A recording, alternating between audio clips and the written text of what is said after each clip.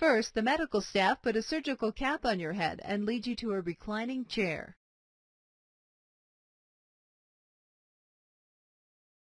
Next, they clean your eye with a cotton swab.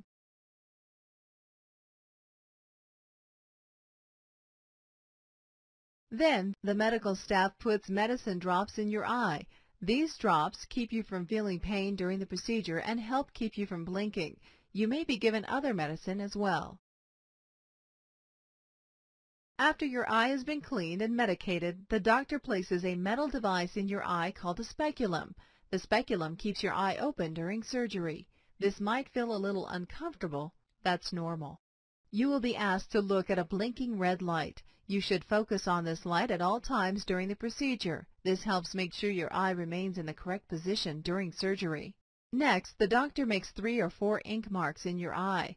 These marks show the doctor exactly where to put the flap when the procedure is done. You will not feel the ink marks being applied.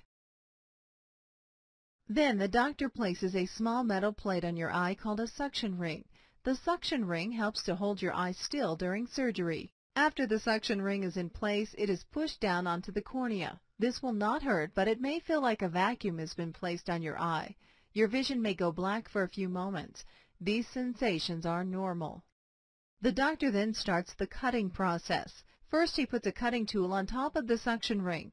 The cutting tool is called a microkeratome.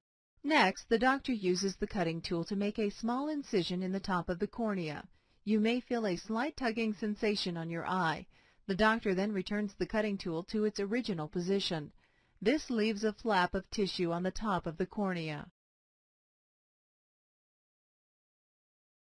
The doctor pulls the flap back with a thin metal rod. You will still be able to see, but your vision may become hazy.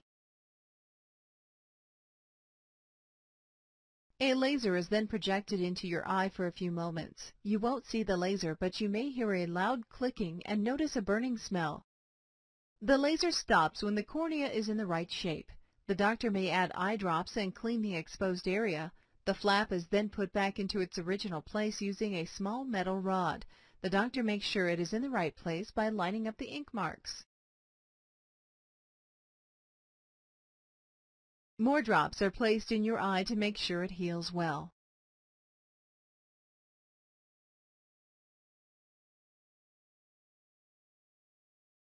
The speculum holding your eye open is removed, and you will be asked to blink a few times.